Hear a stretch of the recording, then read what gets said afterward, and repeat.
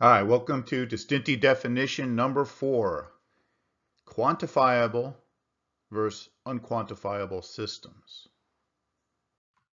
In this video, I will explain what, the, what a quantifiable and what an unquantifiable system are, how to identify such systems, and why this is important to us.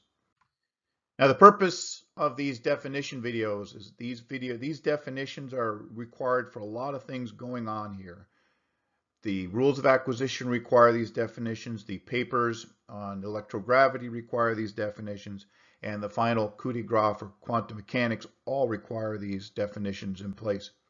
And instead of having to include these definitions in each of the videos, I'm just creating this definition series to get these definitions quickly out and locked down so that we can go forward and use them. So I'll be referencing these definition videos from the other videos. And you should know where to find them. You'll be able to find them at the distinti.com website. I, I, don't like trying to put little links in the YouTube thing because it's just a pain in the neck. It's much easier for me to put them on a website and you can go look them up on your own. Um, so on the Distinti main page, there will be one link there for the definitions. So a quantifiable system is any observable phenomenon can be quantified, measured, and counted. Okay, in other words, if something can affect something else, that effect can be quantified, measured, and counted. It doesn't really matter what it is. Okay, an unquantifiable system are those systems that we are completely unaware of.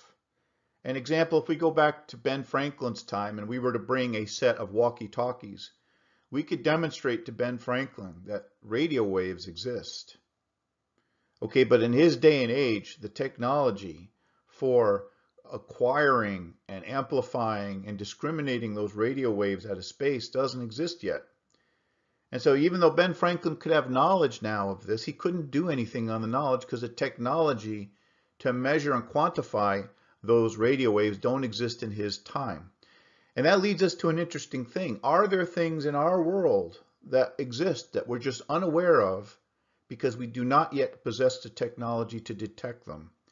That is a very interesting and salient point of all this, of everything in science. That we may be totally oblivious to stuff all around us that exists that we just not have yet developed the technology to to uh, detect. And let me give you a, a, weird example. Let's say ghosts do exist. Well, we haven't, haven't have not developed any way of detecting ghosts or the afterlife or any of that stuff. Okay, so maybe that does exist. Maybe just we just have not detected a way to Uh, have not developed a way to detect it. Okay, okay. There are other types of unquantifiable systems, like for example, dark matter. Dark matter is something that we have to put into the cosmology equations to make galaxies work the right way. Okay, so dark matter is more of something that we have to add to make our equations come out right. We have not ever been able to detect dark matter, but we're theorizing exists because we're seeing some kind of effect that we can't explain. So this is a case where we're taking the effect before having understanding what the system is that causes that effect. Okay, I'm going to show you when we get into ethereal mechanics that this dark matter thing is actually comical. Um, they chose the right name for it, and I'll show you why they can't detect it. It's really funny. Um, it really is. It's hysterical. Anyway, next. Okay, what's the importance of, of saying something's quantifiable or unquantifiable? Okay, because if it's quantifiable, it's useful. And the concept of utility, being useful, is very important into the rules of acquisition and all of science actually, because the rules of acquisition are a system of rules that I developed to help make scientific uh, advancement easier. Okay, and only a system that can be quantified and counted can be useful. In other words, if you can quantify the effect of A on B, then you can make B much more useful. Let me give you an example. Okay, so we observe, let's say we go back before we knew that fire was a chemical reaction, but so some caveman observed that fire consumes wood to give off heat and light. Okay, so you could develop a system, you know, where you, you know, number of BTUs per quantity of wood, et cetera, et cetera. and this this ability to count and quantify allows you to design a wood burning stove of proper size for any habitable structure and to be determined in advance the quantity of wood to stack for the winter. Again, allows you to plan ahead. Like we talked about in the definition of deterministic systems, it allows you to do things now because you know what the outcome will be. In other words, it allows you to see into the future, to know how much wood you will need to stack for the winter. Okay, that's the beauty of all the scientific stuff. It allows you to plan for the future. But here's a trap. Just because we can put fire to good use does not mean we understand what fire is. Okay, today we know that fire is a chemical reaction. But do we really understand what a chemical reaction is? It's governed by the nuclear nuclear forces. Do we truly all understand nuclear forces yet? Yeah. Do we know, okay, even if we could say, oh, this is all nuclear forces, then what are nuclear forces? It's a never-ending layer of onions you have to peel back. Okay, so the third rule of acquisition is very salient about this point. It's called the utility fallacy. And the primary clause of the utility fallacy is, is monkey do does not mean monkey know.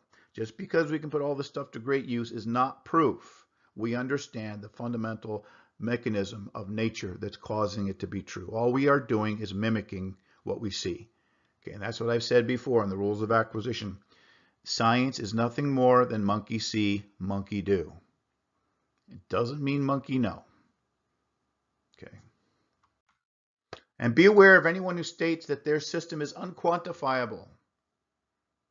What they're basically claiming is that their system is useless and untestable.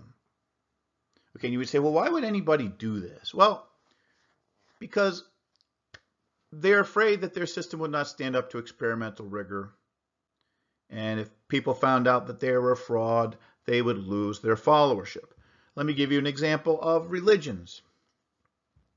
They often say, oh, well, you know, we can't know the mind of God when you, when you get them into a, a logical argument that doesn't make any sense okay? And they say oh you know we can't test god and it's a, it's, it's a sin to test god. It depends on the religion. Some religions are a little better or other religions are worse.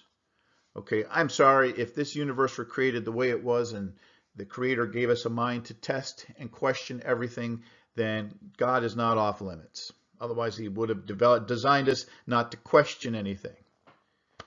Okay and, and in fact, the Jesuit religion is the Jesuits believe in, in critical thinking, testing, questioning what everything you believe every day. So, you know, it, there's religions out there that are more open to being tested. Thank you. No more voodoo physics. My Distinti.com site is finally back up, but it's not complete yet. It's still under construction.